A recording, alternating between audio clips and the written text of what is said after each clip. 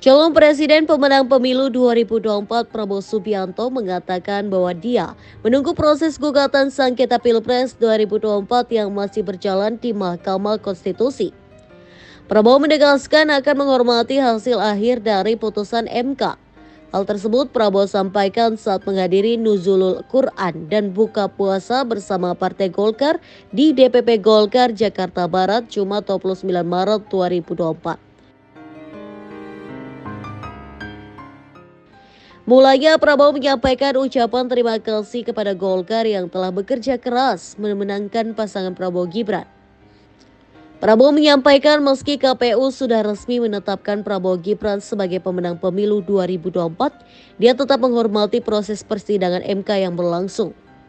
Dia menyebut akan tetap mempersiapkan berbagai data dan terus berdiskusi untuk menjalankan pemerintahan ke depan.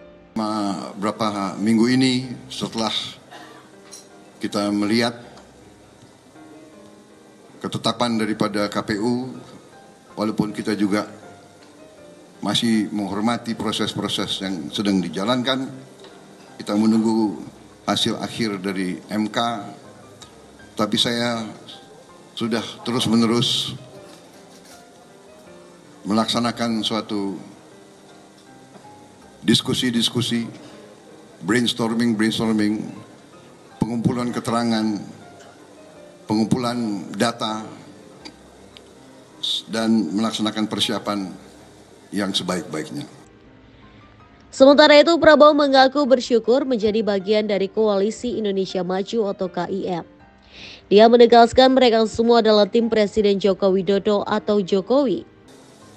Bersyukur bahwa kita memang bagian daripada koalisi Indonesia maju. Kita bersyukur bahwa kita tidak ragu-ragu, tidak malu-malu, tidak mencela-mencele, tidak belakni belakno. Ya kan? Ya kan? Kita tegas dari awal mengatakan kita, kita adalah timnya Pak Jokowi, kita bertekad melaksanakan, meneruskan melanjutkan program-program yang sudah baik, sudah kokoh. Kita berpendapat bahwa setiap presiden melakukan penambahan landasan kuat. Kita mengakui semua presiden sebelum kita. Kita menghormati semua pemimpin kita. Kita menyadari semua pemimpin adalah manusia dengan kelebihan dan kekurangannya. Kami pun Prabowo dan Gibran juga mengakui kami manusia biasa, penuh kekurangan. Untuk itu kami sangat memerlukan dukungan, bantuan, masukan, nasihat terus menerus. Kami membuka diri, kami ingin suatu suasana kepemimpinan yang rukun, kepemimpinan yang kolegial, kepemimpinan terdiri oleh para sahabat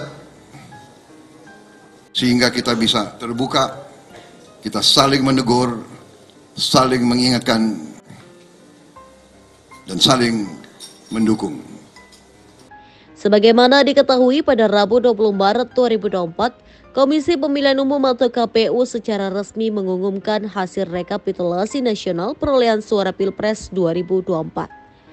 Berdasarkan hasil rekapitulasi KPU, pasangan Prabowo Subianto dan Gibran Raka Buming Raka dinyatakan sebagai pemenang Pilpres 2024. Berdasarkan perhitungan KPU, jumlah suara sah dalam rekapitulasi Pilpres 2024 sebesar 164.270.475. Pasangan Prabowo Subianto dan Gibran Raka Buming Raka memperoleh 96.214.691 suara atau 58,59 persen. Pasangan Anies Mohaimin Iskandar memperoleh suara 40.971.906 atau 24,95 persen dari suara sah. Sementara itu, pasangan Ganjar Pranowo dan Mahfud MD mengumpulkan 27.050.878 suara atau 16,47 persen dari suara sah. Namun demikian, proses Pilpres dipastikan belum selesai setelah pasangan Anies Baswedan dan Muhaimin Iskandar dan Ganjar Pranowo Mahfud MD mengajukan gugatan perselisihan hasil pemilihan umum atau PHPU ke Mahkamah Konstitusi. Kalau semula fokus perhatian publik tertuju pada perhitungan perolehan suara Pilpres di KPU, kini mata publik akan mengarah ke MK.